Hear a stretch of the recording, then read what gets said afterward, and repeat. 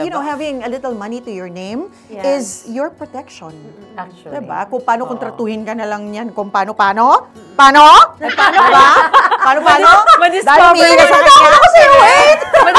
Mo pala na, okay, ginagastusan ka nga, pero I know the treatment sa'yo, eh, hindi Oo, naman pala sama-sama. maganda. Diba? Diba? At least, you know, you Like can it- just Oo. say goodbye anytime. I don't need your money. Again, this is us being the paranoid women that we are. We cannot always just depend on someone. Not necessarily a guy, not necessarily a husband, in general. Like, mana, parents, for example, we cannot Oo. always rely on them to give us what we want. So that's why, you know, we, we've changed the landscape. I mean, women before us have changed the landscape and we've already learned to fend for ourselves. But honestly, in a perfect world, talagang I, I Ang would, sarap sana. I would take Oo, that. masarap oo. sana.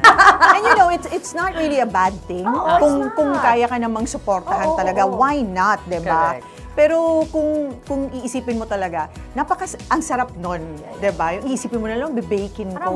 Buhay donya ka. Buhay donya ka, ko, 'di ba? For the, for the women who choose to be stay-at-home moms, naniniwala ko they already have a plan B. Yeah. Yung kasi, ah, as babae. Correct. We Oo. cannot just settle for what is going on now. So like, they probably already have their insurance covered. Yeah, meron They yan. already may have sarili ka power ng plans. ano, may may ah, may sarili ka ng bank account. Yes, oo. Kung binibigyan ka ng sobra, may extra pa. Yung extra, kuhanin mo na. Mm, i-save mo na, okay? Save mo na. Mag-insure mo yung family mo, eh. Totoo. di ba? Yeah, siguraduhin mo na ikaw nakalagay sa ano, beneficiary sa insurance niya.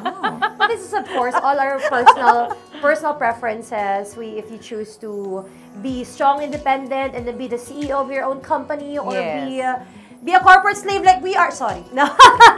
If Be- you be worker. afford, no? Yes, go ahead. If you want to be a housewife as well, go ahead. Wait, if you so want to ano, be a ah? sugar baby, go ahead. I support you.